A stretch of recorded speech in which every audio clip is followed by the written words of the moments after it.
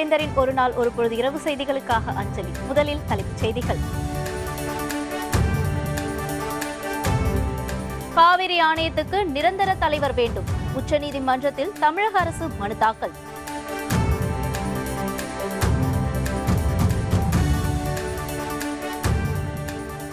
வெற்றி பெற விடாமுயற்சி கடின உழைப்பு அவசியம். பட்டமளிப்பு விழாவில் டாக்டர் பாரிவேந்தர் பேச்சு.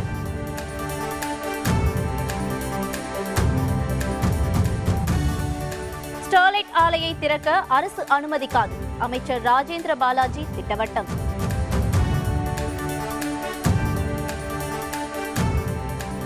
வருமான வரித்துறையினர் அதிரடி சோதனை. கணக்கில் வராத ஐம்பத்தி ஐந்து கோடி ரூபாய் பறிமுதல்.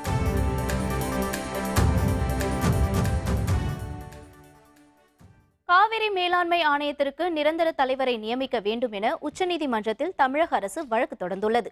தமிழக அரசு சார்பில் உச்சநீதிமன்றத்தில் இன்று ஒரு மனு தாக்கல் செய்யப்பட்டுள்ளது.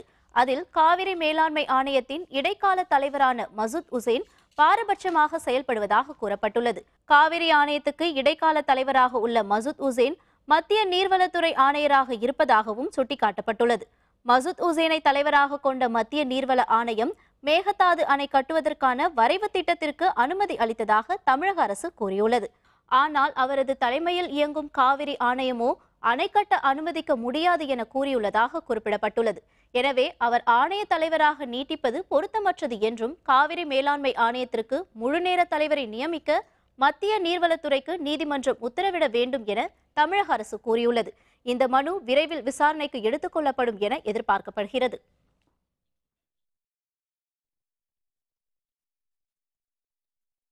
மாணவர்கள் நேர்மையுடன் விழா முயற்சி கடின உழைப்பு ஆகியவற்றின் மூலம் வெற்றி பெற முடியும் என எஸ்ஆர்எம் பல்கலைக்கழகம் மற்றும் அறிவியல் கல்லூரி பட்டமளிப்பு விழாவில் டாக்டர் பாரிவேந்தர் தெரிவித்துள்ளார்.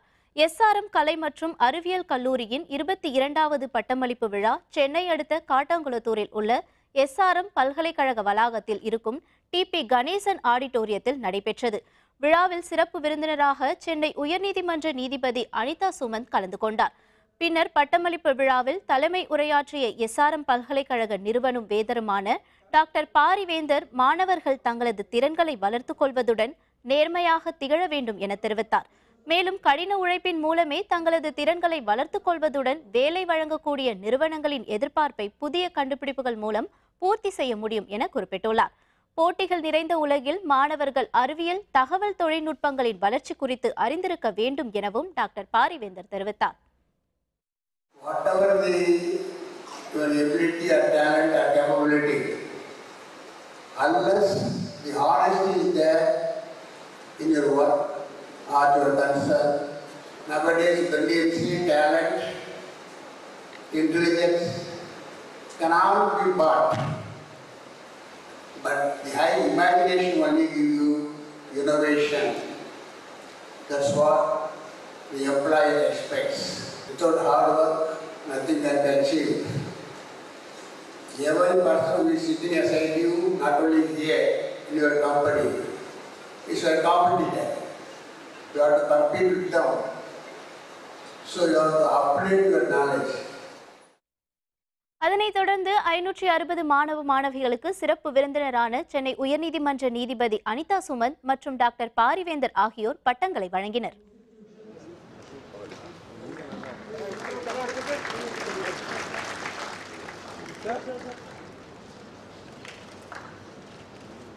గణనీయుడి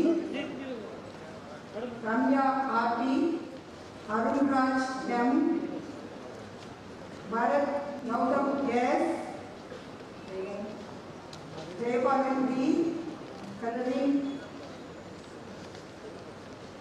D Purushottam Santosh பட்டமளிப்பு விழாவில் எஸ்ஆர்எம் பல்கலைக்கழக இணைவேந்தர் டி பி கணேசன் பதிவாளர் சேதுராமர் எஸ்ஆர்எம் கலை மற்றும் அறிவியல் கல்லூரி முதல்வர் சுப்புராம் உணவக மேலாண்மை நிறுவன இயக்குனர் அந்தோணி அசோக்குமார் மற்றும் பேராசிரியர்கள் மாணவ மாணவிகள் உட்பட ஏராளமானோர் கலந்து கொண்டனர்.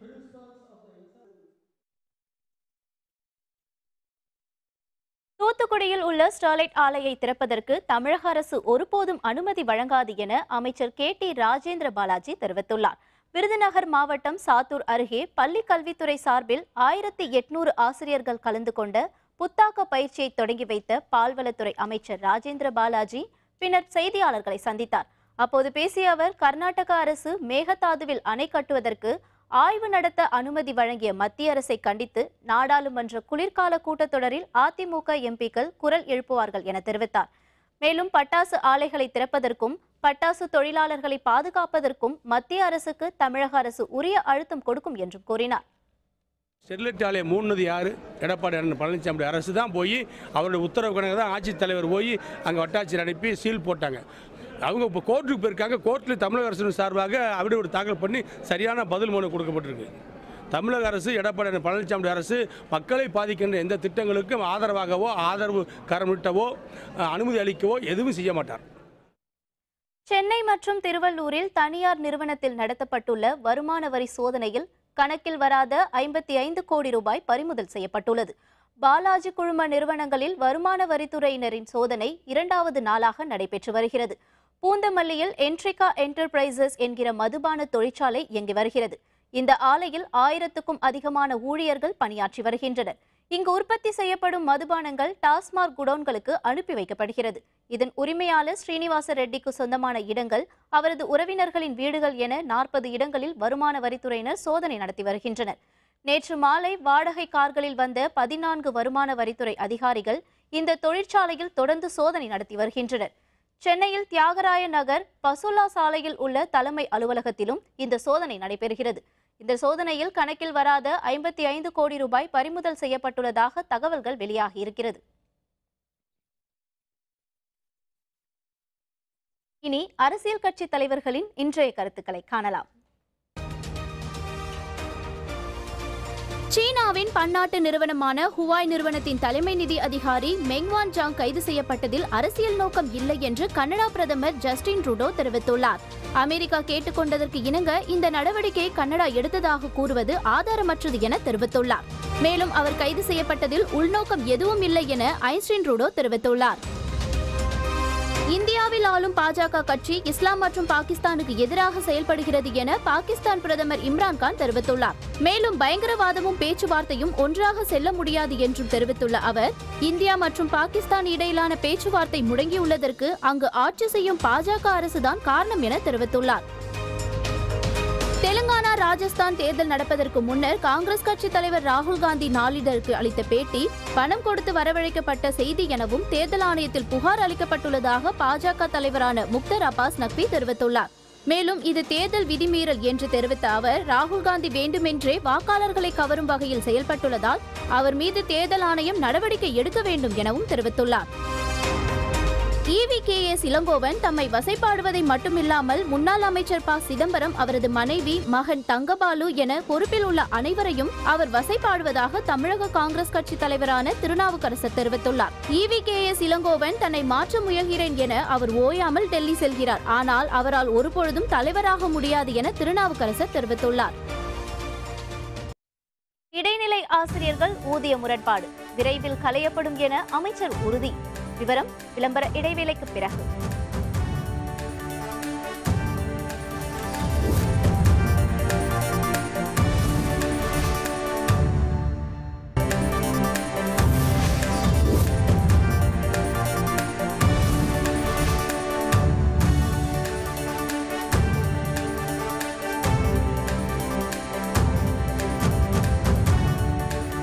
செய்திகள் தொடர்கின்றன. இடைநிலை ஆசிரியர்கள் ஊதிய முரண்பாடுகள் குறித்து நூற்றுக்கும் மேற்பட்ட சங்கங்களிடம் ஒரு நபர் விசாரணை குழு பேச்சுவார்த்தை நடத்தி விரைவில் அரசுக்கு பரிந்துரை செய்யும் என பள்ளிக் கல்வித்துறை அமைச்சர் கே. எஸ். செங்கோட்டையன் தெரிவித்துள்ளார். ஈரோட்டில் நடைபெற்ற மாற்றுத்திறனாளிகள் விழாவில் பங்கேற்ற அமைச்சர் கே. எஸ். செங்கோட்டையன் பின்னர் செய்தியாளர்களை சந்தித்தார். அப்பொழுது பேசிய அவர் ஆசிரியர்கள் ஜனநாயக முறையில் போராடுவதை கைவிட்டு அரசாணையை எரித்தால் அவர்கள் மீது சட்டப்படி வழக்கு பதிவு செய்யப்பட்டுள்ளதாக குறிப்பிட்டுள்ளார். பள்ளி கல்வித்துறை சார்பில் ஆசிரியர்களுக்கு விளக்கம் கேட்டு நோட்டீஸ் அனுப்பியுள்ளதாகவும் அமைச்சர் தெரிவித்தார். ஒரு நபர் குழு அது தொடர்ந்து அவரோடு பேச்சுவார்த்தை நடத்தி கொண்டிருக்கிறது. அறுபத்தெட்டு சங்கங்கள் பள்ளிக்கல்வித்துறையில் இருக்கிறது. மற்றும் எல்லா துறையிலும் சங்கங்கள் பல இருக்கின்றன. ஏறத்தாழ நூறு நூற்றி ஐம்பது சங்கங்கள் இருக்கின்ற போது ஒவ்வொரு சங்கங்களையும் அழைத்து அவருக்கு இருக்கின்ற குறைகள் என்ன என்பதை இந்த ஒரு நபர் கமிஷன் அதை பற்றி அரசிற்கு பரிந்துரை செய்யும். புதிய மின்பாதை அமைக்க நிலம் வழங்குபவர்களுக்கு உரிய இழப்பீடு தரப்படும் என மின்சாரத்துறை அமைச்சர் தங்கமணி தெரிவித்துள்ளார். நாமக்கல்லில் அரசு பள்ளியில் மாணவர்களுக்கு விலையில்லா மிதிவண்டிகளை வழங்கிய அமைச்சர் தங்கமணி பின்னர் செய்தியாளர்களை சந்தித்தார். அப்போது பேசிய அவர் வெளி மாநிலங்களிலிருந்து வாங்கப்படும் மின்சாரத்தை தமிழகத்திற்குள் கொண்டு வர வேண்டுமெனில் புதிய மின்பாதைகள் அமைப்பது அவசியமாகிறது என குறிப்பிட்டார். தமிழகத்தில் முழுமையாக புதைவட மின்சார உபயோகம் சாத்தியமில்லாதது என குறிப்பிட்ட அமைச்சர் பேச்சுவார்த்தை சுமூகமாக முடிவடைந்த பின்னர் புதிய மின்பாதைக்கான மின் கோபுரங்கள் அமைக்கப்படும் என தெரிவித்தார். இரண்டாயிரம் மெகாவாட் நமக்கு வர வேண்டிய மின்சாரத்தை கொண்டு வருவதற்கு பாதையில்லை. அதே போல உற்பத்தி செய்கின்ற மின்சாரத்தை முழுமையாக நம்ம தமிழ்நாட்டில் எடுத்து வர வேண்டும் என்று சொன்னால் புதிய மின்பாதைகள் அமைத்துத்தான் தீர வேண்டும். இத்தனை பாதைகள் அமைத்திருக்கின்றோம். அதை அவர்களோடு பேசியிருக்கின்றோம். அவர்களுக்கு நிலத்துக்கு அதே போல தென்னை மரத்துக்கு உண்டான நஷ்டங்களை அவர்கள் கேட்டிருக்கின்றார்கள். அரசு எவ்வளவு தரும் என்று சொல்லியிருக்கின்றோம். அவர்கள் ஒரு வார காலத்திற்குள் பேசிவிட்டு மீண்டும் பேச்சுவார்த்தைக்கு வருவதாக சொல்லியிருக்கின்றார்கள். ஸ்டெர்லைட் ஆலையை தேசிய பசுமை தீர்ப்பாயம் திறக்க உத்தரவிட்டால் அதனை மூடும் வரை போராடுவோம் என மதிமுக பொதுச் செயலர் வைகோ தெரிவித்துள்ளார். தூத்துக்குடி மாவட்டம் ஒட்டப்பிடாரம் சட்டப்பேரவை தொகுதி வாக்குச்சாவடி மதிமுக முகவர்கள் மற்றும் நிர்வாகிகள் ஆலோசனை கூட்டம் நடைபெற்றது. இதில் கலந்து கொண்ட பின்னர் செய்தியாளர்களிடம் பேசிய வைகோ பிரதமர் மோடி கொண்டு வர முயற்சிக்கும் அணை பாதுகாப்பு சட்டம் கொண்டுவரப்பட்டால் தமிழகத்துக்கு மிகப்பெரிய பாதிப்பு ஏற்படும் என்று கூறினார். காவிரி முல்லை பெரியாறு பிரச்சனைகளில் மறைந்த முதல்வர் ஜெயலலிதாவின் அணுகுமுறை நன்றாக இருந்ததாகவும் குறிப்பிட்டுள்ளார். ஸ்டெர்லைட் ஆலை முதல் யூனிட்டும் இயங்கக்கூடாது. இதுதான் நம்முடைய கோரிக்கை. இந்த பிரச்சனையில் நாளை மறுநாள் நடைபெறுகிறது. ட்ரிபியூனலில் ஆலையை மூடுவதற்கான ஆணை வரும்னு நான் எதிர்பார்க்கல. ஆனால் நம் போராட்டம் நிற்காது. புதிய புதிய வடிவம் எடுக்கும். இந்த ஆலை அகற்றும் வரை போராட்டம் நடந்து கொண்டே இருக்கும். தூத்துக்குடி எஸ்ஆர்எம் மருத்துவக் கல்லூரி சார்பில் நடைபெற்ற இலவச மருத்துவ முகாமில் பொதுமக்கள் மாணவ மாணவிகள் என ஐநூற்றுக்கும் அதிகமானோர் பயனடைந்தனர். தூத்துக்குடியில் உள்ள சிவந்தாகுளம் மாநகராட்சி பள்ளியில் இன்று இரண்டாவது கட்ட இலவச மருத்துவ முகாம் நடைபெற்றது. எஸ்ஆர்எம் மருத்துவக் கல்லூரி மற்றும் இந்திய ஜனநாயக கட்சி சார்பில் நடைபெற்ற முகாமில் பொது கண் மற்றும் தோல் மருத்துவம் உள்ளிட்ட பல்துறை மருத்துவர்கள் பங்கேற்று பொதுமக்களுக்கு மருத்துவ பரிசோதனை செய்தனர். முகாமில் பங்கேற்றவர்களுக்கு இலவசமாக சர்க்கரை நோய் பரிசோதனை இரத்த அழுத்தம் உள்ளிட்ட பல்வேறு பரிசோதனைகள் செய்யப்பட்டன. இதேபோன்று நாளை மணப்பாட்டில் இலவச மருத்துவ முகாம் நடைபெற உள்ளது எஸ்ஆர்எம்ல இருந்து ஒரு மருத்துவ முகாம் நடத்துகிறோன்னு பிளட் டெஸ்ட்டு எல்லா டெஸ்ட்டுமே எடுத்து எல்லா செக்கப்பும் முடிச்சிட்டேன். எல்லாம் ஃப்ரீயாக பண்ணி தர்றேன் அப்படின்னு சொல்லியிருக்கிறாங்க. மாத்திரை மருந்து எல்லாமே கொடுத்துருக்காங்க. ரொம்ப நல்லா பார்த்துருக்காங்க. தூத்துக்குடி மாவட்டத்தில் இது ரெண்டாவது மருத்துவ முகாம். மருத்துவ ஒரு முப்பத்தி மூணு டாக்டர்கள் வந்திருக்காங்க. ஒரு பெரிய மருத்துவ குழு. எல்லா வகையான நோய்களுக்குமே தனித்தனியான சிறப்பு மருத்துவர்கள். இது இந்த எங்கள் பகுதி மக்களுக்கு பெரிய பேருதவியாக இருக்குது நாளைக்கு மணப்பாடில் ஒரு முகாம் நடக்கு. மணப்பாடு முகாமில் அங்கே இருக்கிற கடற்கரை கிராமங்களுக்கு பெரிய உதவியாக இருக்கும். இந்த உதவியை பயிர் பண்ணி கொடுத்த டாக்டர் மா பாரிவேந்தர் ஐயாவிற்கும் எஸ்ஆர்எம் மருத்துவக் கல்லூரி மருத்துவமனை நிர்வாகத்திற்கும் எங்களை இரங்கலது நன்றிகள். வேடந்தாங்கல் பறவைகள் சரணாலயம் இன்று திறக்கப்பட்டுள்ளது. காஞ்சிபுரம் மாவட்டம் செங்கல்பட்டை அடுத்துள்ள வேடந்தாங்கல் பறவைகள் சரணாலயம் போதிய மழை பெய்யாததால் தண்ணீரின்றி வறண்டு காணப்பட்டது. இதன் காரணமாக வேடந்தாங்கல் பறவைகள் சரணாலயம் பல நாட்களாக மூடப்பட்டிருந்தது. கடந்த சில நாட்களாக பெய்த மழையால் வேடந்தாங்கலை சுற்றியுள்ள ஏரிகளில் தண்ணீர் வரத்து அதிகரித்துள்ளது. இதையடுத்து வேடந்தாங்கல் பறவைகள் சரணாலயம் இன்று திறக்கப்பட்டதாக வனத்துறையினர் தெரிவித்துள்ளனர். இனி செய்திகளின் தொகுப்பை காணலாம். ஊதியம் வழங்குவது தொடர்பாக காவல்துறை உயர் அதிகாரிகளுடன் நடத்திய பேச்சுவார்த்தையில் உடன்பட உடன்பாடு ஏற்பட்டதை அடுத்து ஊர்காவல் படையினரின் போராட்டம் திரும்ப பெறப்பட்டது. தெலுங்கானா மாநில பேரவைத் தேர்தலுக்கு பாதுகாப்பு பணிக்கு சென்றதற்கு ஊதியம் வழங்கவில்லை என்று கூறி சென்னை எழும்பூர் ராஜரத்தினம் மைதானத்தில் ஊர்காவல் படையினர் போராட்டம் நடத்தினர். திருநெல்வேலி மாவட்டம் புதிய பேருந்து நிலையத்தில் உணவு பாதுகாப்பு துறையினர் நடத்திய அதிரடி சோதனையில் சுகாதாரமற்ற உணவுப் பொருட்கள் அழிக்கப்பட்டன. புதிய பேருந்து நிலையத்தில் நடைபெற்ற சோதனையில் சுகாதாரமற்ற முறையில் இருந்த உணவுப் பொருட்கள் மற்றும் தயாரிப்பு தேதி அச்சிடப்படாத உணவுப் பொருட்கள் பறிமுதல் செய்யப்பட்டு அழிக்கப்பட்டது. திருநெல்வேலியில் மக்கள் அதிக அளவில் கூடும் இடங்களில் உள்ள உணவு கடைகளில் உணவு பாதுகாப்பு துறையினர் தொடர்ந்து சோதனையில் ஈடுபட்டுள்ளனர். நாகர்கோவிலில் நடைபெற்ற நிகழ்ச்சியில் நூற்றி நாற்பது பள்ளிகளை சேர்ந்த மாணவ மாணவிகளுக்கு தமிழக அரசின் விலையில்லா மிதிவண்டிகள் வழங்கப்பட்டன. தமிழகத்தில் அனைத்து பள்ளிகளிலும் பதினொன்று மற்றும் பனிரெண்டாம் வகுப்பு படிக்கும் மாணவ மாணவிகள் பயன்பெறும் வகையில் தமிழக அரசின் விலையில்லா மிதிவண்டிகள் வழங்கப்பட்டு வருகின்றன. கன்னியாகுமரி மாவட்டம் நாகர்கோவிலில் நடைபெற்ற நிகழ்ச்சியில் நூற்று நாற்பது பள்ளிகளை சேர்ந்த மாணவர்களுக்கு சுமார் பதினெட்டு கோடி ரூபாய் மதிப்பிலான விலையில்லா மிதிவண்டிகள் வழங்கப்பட்டது.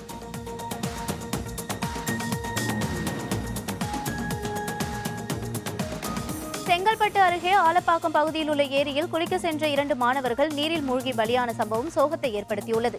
காஞ்சிபுரம் மாவட்டம் செங்கல்பட்டை அடுத்துள்ள பாரதபுரம் பகுதியைச் சேர்ந்த இம்ரான் சுசில் சத்யா உள்ளிட்ட ஐந்து பள்ளி மாணவர்கள் ஆலப்பாக்கம் பகுதியில் உள்ள ஏரியில் குளிக்கச் சென்றுள்ளனர். ஏரியின் ஆழத்தில் சென்று குளிக்க முற்பட்ட அவர்கள் நீருக்கடியில் மூழ்கினர். சக மாணவர்களின் அலறல் சத்தத்தை கேட்டு அருகிலிருந்து ஓடி வந்தவர்கள் நீரில் மூழ்கிய சிறுவர்களை மீட்டனர்.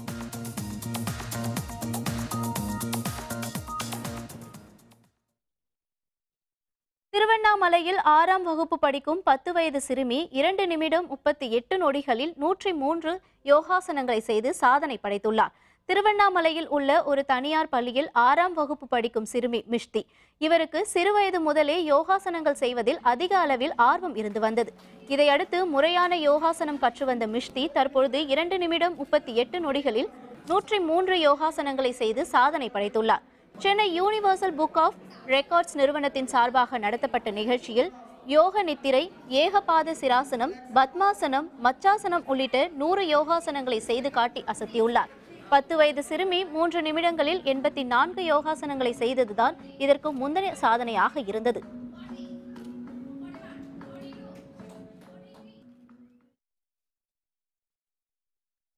அரசியல் களத்தில் உலாவரும் நிஜ தகவல்கள் நிழல் வடிவில் உங்களுக்காக.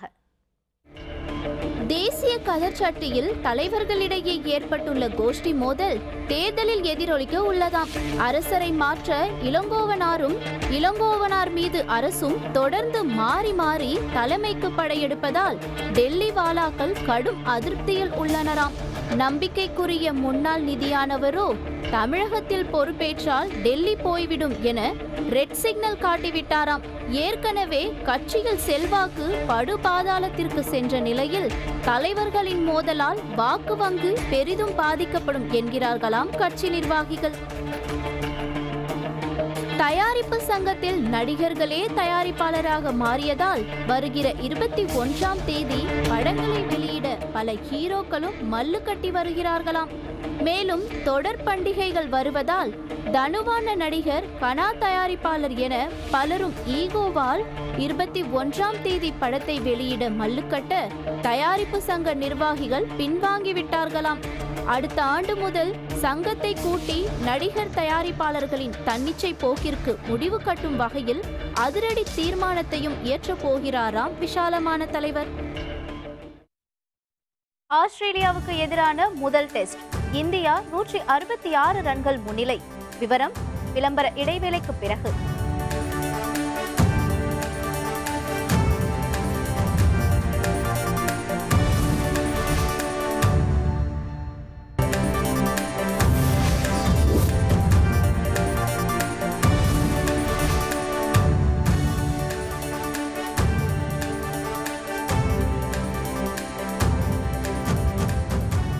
தொடர்கின்றன. ஆஸ்திரேலியாவுக்கு எதிரான முதல் டெஸ்டின் இரண்டாவது இன்னிங்ஸில் இந்தியா மூன்று விக்கெட்டுகள் இழப்பிற்கு நூற்றி ஐம்பத்தி ஒரு ரன்கள் எடுத்துள்ளது. ஆஸ்திரேலியா இந்தியா இடையிலான முதல் டெஸ்ட் போட்டி அடிலைட்டில் நடைபெற்று வருகிறது. டாஸ் வென்று முதலில் பேட்டிங் செய்த இந்திய அணி இருநூற்றி ஐம்பது ரன்கள் எடுத்தது. இதனைத் தொடர்ந்து ஆடிய ஆஸ்திரேலியா இருநூற்றி முப்பத்தி ஐந்து ரன்களுக்கு அனைத்து விக்கெட்டுகளையும் இழந்தது. இதனை அடுத்து மூன்றாவது நாளான இன்று இந்தியா தனது இரண்டாவது இன்னிங்ஸை தொடங்கியது. லோகேஷ் ராகுல் நாற்பத்தி எட்டு ரன்களிலும் விஜய் பதினெட்டு ரன்களிலும் ஆட்டமிழந்தனர். கேப்டன் விராட் கோலி முப்பத்தி நான்கு ரன்களில் ஆட்டமிழந்தார். இன்றைய ஆட்ட நேர முடிவில் இந்தியா மூன்று விக்கெட்டுகள் இழப்பிற்கு நூற்றி ஐம்பத்தி ஒரு ரன்கள் எடுத்துள்ளது. இதன் மூலம் இந்திய அணி நூற்றி அறுபத்தி ஆறு ரன்கள் முன்னிலை பெற்றுள்ளது. புஜாரா நாற்பது ரன்களுடனும் ரஹானே ஒரு ரன்னுடனும் களத்தில் உள்ளனர். இனி தங்கம் வெள்ளி விலை நிலவரங்களை காணலாம். சென்னையில் ஆபரண தங்கத்தின் விலை சவரனுக்கு நாற்பத்தி ஐந்து ரூபாய் அதிகரித்து ஒரு சவரன் விலை இருபத்தி நான்காயிரத்து எண்பது ரூபாயாகவும் ஒரு கிராம் தங்கத்தின் விலை மூன்றாயிரத்து பத்து ரூபாயாகவும் உள்ளது. வெள்ளி விலையை பொறுத்தவரை கிராமுக்கு அறுபது காசுகள் உயர்ந்து ஒரு கிராம் நாற்பது ரூபாய் முப்பது காசுகளாகவும் ஒரு கிலோ வெள்ளியின் விலை நாற்பதாயிரத்து முன்னூறு ரூபாயாகவும் உள்ளது. தென்கிழக்கு வங்கக்கடலில் அடுத்த இருபத்தி நான்கு மணி நேரத்தில் புதிய காற்றழுத்த தாழ்வு பகுதி உருவாகி வலுப்பெற வாய்ப்புள்ளதாக சென்னை வானிலை ஆய்வு மையம் தெரிவித்துள்ளது. லட்சத்தீவு கடல் பகுதியில் நிலவும் வளிமண்டல மேலடுக்கு சுழற்சி காரணமாக தமிழகம் மற்றும் புதுச்சேரியில் மிதமான மழைக்கு வாய்ப்புள்ளதாகவும் வானிலை மையம் கூறியுள்ளது. மாலத்தீவு கடற்பகுதிகளில் வளிமண்டல மேலடுக்கு சுழற்சி நிலவுவதால் இதன் காரணமாக தமிழகம் மற்றும் புதுச்சேரியில் மிதமான மழைக்கு வாய்ப்புள்ளதாகவும் தெரிவிக்கப்பட்டுள்ளது. மீண்டும் தலைப்புச் செய்திகள். காவிரி ஆணையத்துக்கு நிரந்தர தலைவர் வேண்டும் என கோரி உச்சநீதிமன்றத்தில் தமிழக அரசு மனு தாக்கல் செய்துள்ளது. வெற்றி பெற விடாமுயற்சி கடின உழைப்பு அவசியம் என பட்டமளிப்பு விழாவில் டாக்டர் பாரிவேந்தர் மாணவர்களுக்கு அறிவுறுத்தியுள்ளார். ஸ்டெர்லைட் ஆலையை திறக்க அரசு அனுமதிக்காது என அமைச்சர் ராஜேந்திர பாலாஜி திட்டவட்டமாக தெரிவித்துள்ளார்.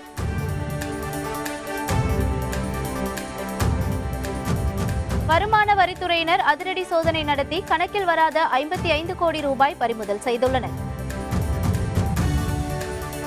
இத்துடன் வேந்தரின் ஒரு நாள் ஒரு பொழுது இரவு செய்திகள் நிறைவடைந்தன. வேந்தர் டிவி செயலியை பதிவிறக்கம் செய்து முக்கிய செய்திகளை நேர்கள் காணலாம். மீண்டும் இரவு பத்து மணிக்கு கண்ணுறங்கும் வேலை இரவு செய்திகளில் சந்திப்போம். வணக்கம்.